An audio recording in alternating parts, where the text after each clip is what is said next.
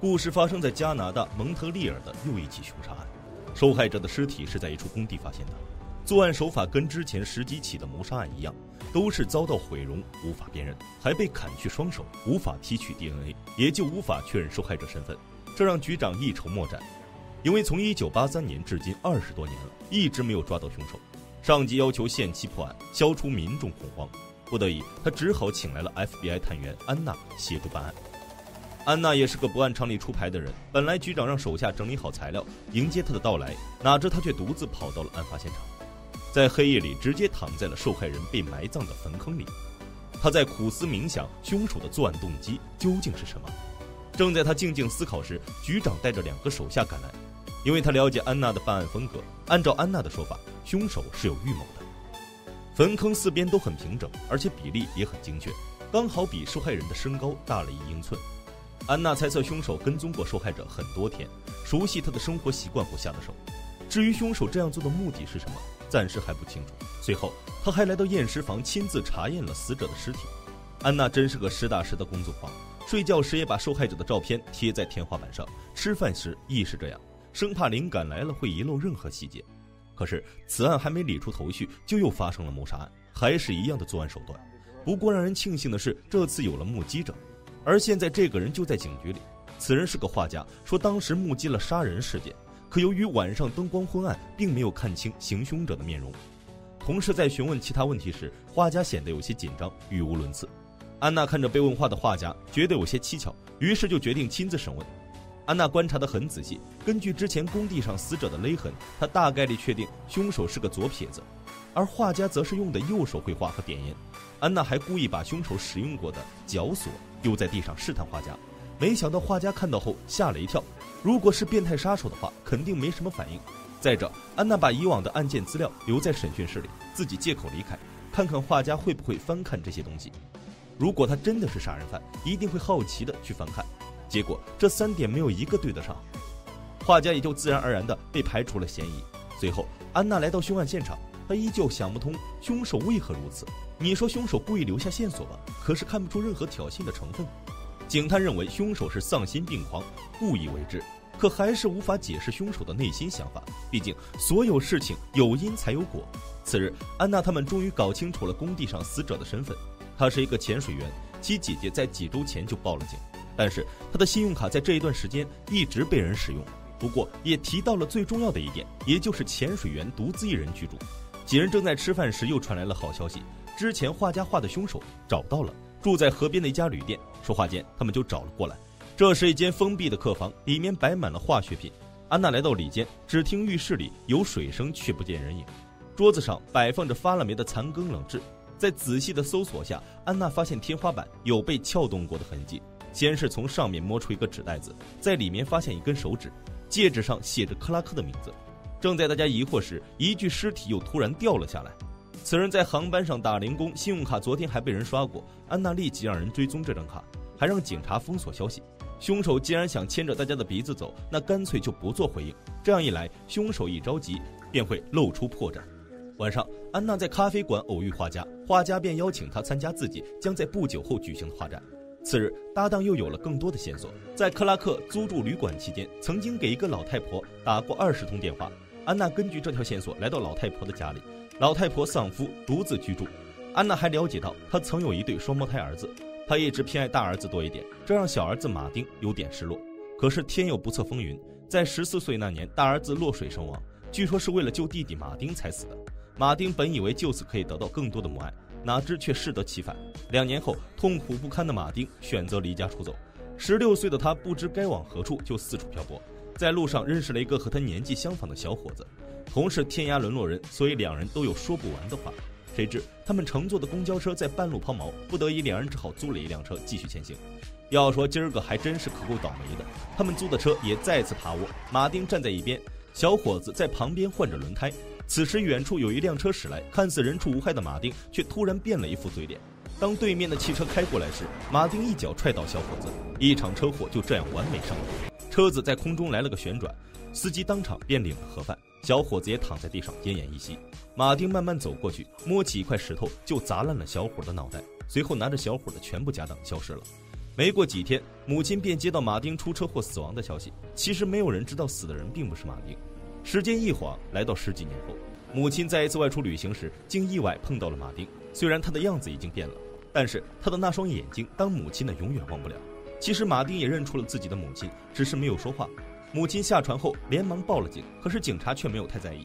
直到安娜找上门，才知道了这一切。细心的安娜还发现了这里有一间密室。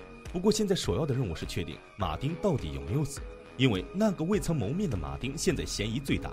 于是安娜便开始下令开棺验尸，果然发现棺材里的人并不是马丁。根据其母亲的交代，小时候的马丁左桡骨出现过骨折，而这具尸体的左桡骨完好无损。看到这里，安娜不仅后背发凉，她立即要求把马丁的母亲转移保护起来，因为母亲撞破了马丁的死，她很有可能会来报复。安娜也趁着老太太没在家，悄悄溜进她的房子，来到地下密室。这里显然已经被废弃了很久，可是不论怎么看，这里都更像是一个囚禁室。这里看到的火柴小人，在之前克拉克的房间也见到过，似乎可以证明马丁就是自己要找的人。安娜躺在一旁的床上，开始揣摩凶手的杀人心理。突然，这时从床底伸出一只大手，直接将他扔了出去。安娜还没来得及反应，那人便利索的逃走了，自然也就没有看清此人的面目。不过，安娜可以肯定，凶手是马丁无疑。随后，安娜在家洗澡时，意外发现了凶手的作案规律。凶手在作案后开始伪造自己的死，然后以受害者的身份生活着。在这么多年不间断的谋杀案中，经过分析，大多数案件都是同样的作案手法。而且，随着年龄的递增，凶手也在寻找着相仿的人下手。显然，凶手有心理疾病，最起码他厌恶现在的自己。好巧不巧，也就在这时，画家报警自己的画室遭窃。安娜在寻找线索时，意外发现画家的便条上写着克拉克的名字。克拉克是画家的一个重要买主，可是他已经死了。看来凶手是盯上了画家。凶手这边伪造成克拉克要求和画家见面，警方为了抓住凶手，已经在周围布下天罗地网。两人约在一家酒吧见面。随后，画家按照指示来到卫生间，可是等了两个小时也不见凶手现身。看来凶手早就已经知道这是一个陷阱。不过在这个时候，安娜也出现了一些问题，她要求退出这个调查小组，原因是在和画家的不断接触中产生了暧昧之情。她知道任由这样发展下去会影响自己对案情的判断，可是局长却不同意，毕竟还没有真正抓到凶手。在局长的一再恳求下，无奈的安娜只好留了下来。很快到了画家举办画展的日子，安娜带着几个同事隐藏在人群中，只等凶手现身。凶手刚出现就发现了不对劲，一个箭步跳到了窗外，安娜紧随其后。可由于街道上人群太多，在一番追逐之后，还是让凶手跑了。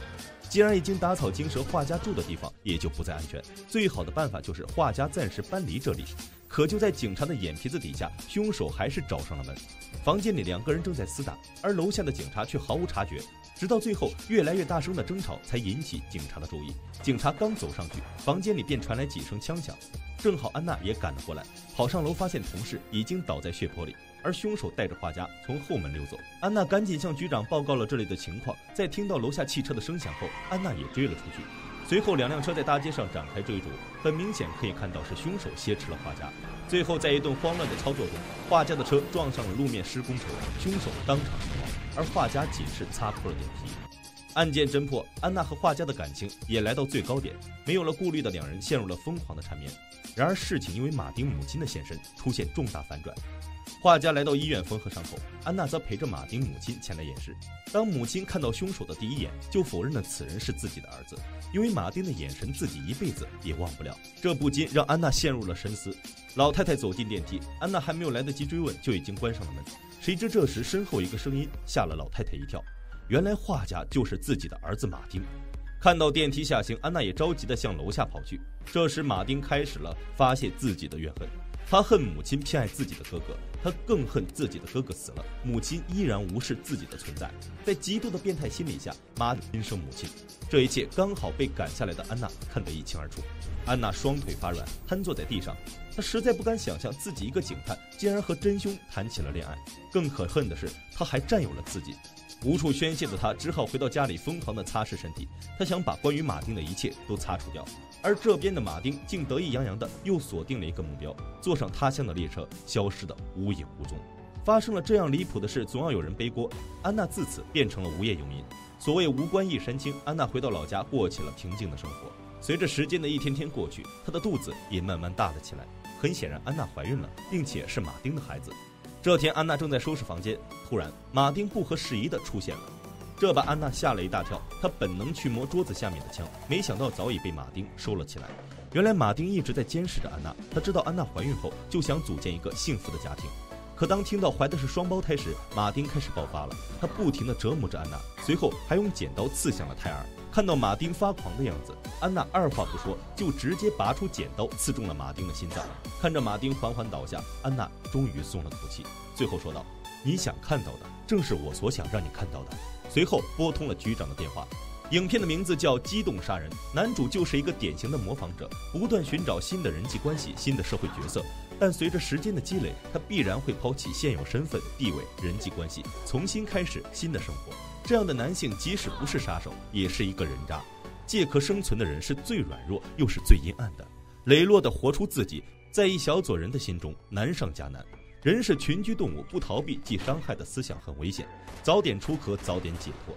感谢观看本期视频，我是大壮，咱们下期再见。